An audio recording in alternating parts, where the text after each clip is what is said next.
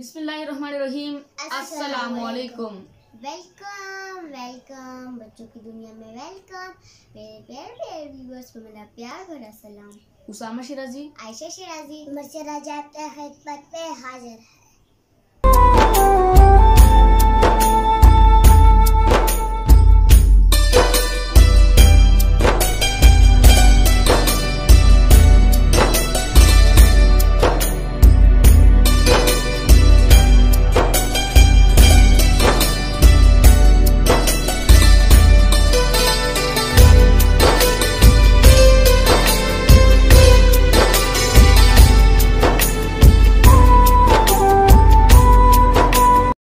सुबह आज हम बना रहे हैं चटपटी चिकन कढ़ाई मलाई चिकन कढ़ाई तो ये रेसिपी बहुत ही मज़े की बनती है, बहुत ही आसानी के साथ बन जाती है और बहुत ही लाजवाब, बहुत ही जायकेदार बनती है।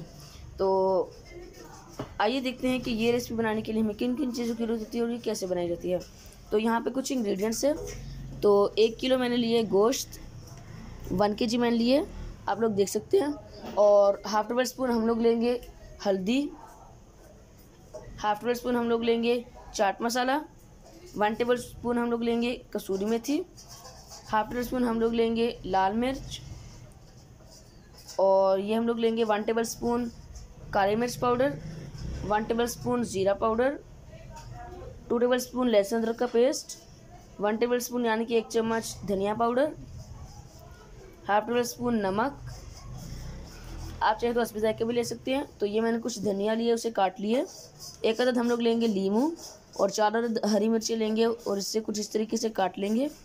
और डेढ़ कप हम लोग लेंगे क्रीम, यानी कि मलाई। तो इन सब चीज़ों की ज़रूरत होगी हमें आज की ये रेसिपी बनाने के लिए। तो चलिए अब स्टार्ट करते हैं। सो वे सारी चीज़ें हम लोग साइड पे कर लेंगे और ले लेंगे कढ़ाई, बिस्मिल्लाहिर्रहमानिर्रहीम। और इसके अंदर हम लोग ऐड करेंगे क्रीम यानी कि मलाई। बिस्मिल्लाहिर्रहमानिर्रहीम।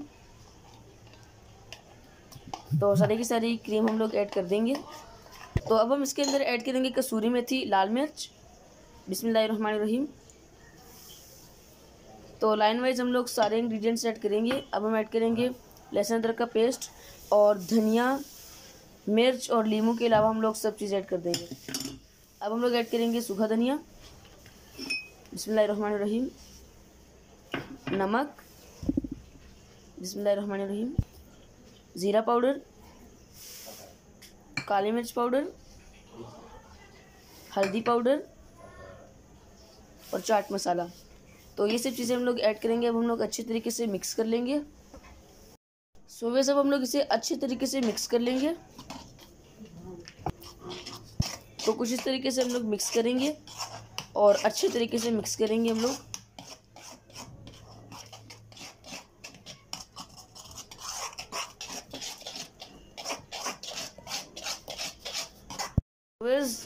सारे स्पाइसेस हमारे अच्छे तरीके से मिक्स हो चुके हैं। अब हम इसके अंदर ऐड करेंगे चिकन बिस्मिल्लाहिर्रहमानिर्रहीम।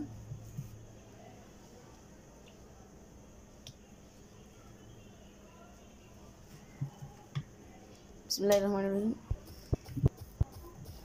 तो अब हम लोग अच्छे तरीके से मिक्स कर लेंगे। बिस्मिल्लाहिर्रहमानिर्रहीम।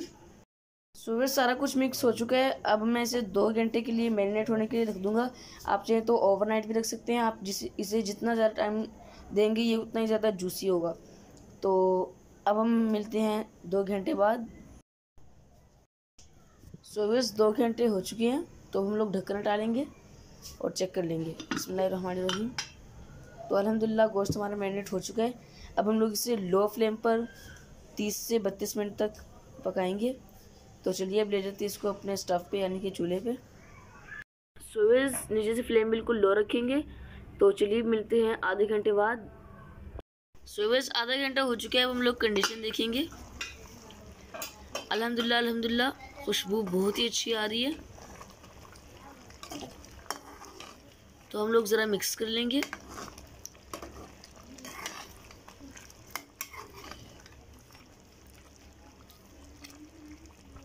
सुबह हमारे गोश्त ने पानी अच्छी तरीके से छोड़ दिया तो अब हम इसे 15 मिनट तक मीडियम फ्लेम पर पकाएँगे। ढककर। बिस्मिल्लाहिर्रहमानिर्रहीम। तो चलिए मिलते हैं 15 मिनट बाद। सोवेज so, दस से पंद्रह मिनट हो चुके हैं और क्रीम यानी कि मलाई ने घी छोड़ दिया हमारे पहले हम लोग मिर्ची ऐड करेंगे। फिर हम लोग धनिया ऐड करेंगे। बसमान रहीम लीमू छोड़ेंगे तो मैंने निचोड़ा आप चाहे तो निचोड़ सकते हैं।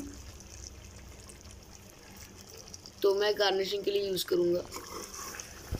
अब हम इसे दो मिनट के लिए दम पे रख देंगे। तो चलिए मिलते हैं दो मिनट बाद। सुबह हमारी आज की रेसिपी तैयार है। बहुत ही मज़े की बनी है, बहुत ही आसानी के साथ बनी है। और बहुत ही अच्छी बनी है। तो आपको ये रेसिपी कैसे लगी कमेंट्स में ज़रूर बताइएगा। तो अगर वीडियो अच्छी लगी हो तो लाइक कीजिएगा फ्रेंड्स और फैमिली के साथ। और अगर आप नए चैनल पर तो काइंडली सब्सक्राइब ज़रूर कीजिएगा। तो इसी के साथ बच्चों की दुनिया को दीजिए इजाज़त, अपना बहुत सारा ख्याल रखिएगा। हमें दुआओं में याद रखिएगा। बहुत सारा प्यार। अल्लाह हाफिज़।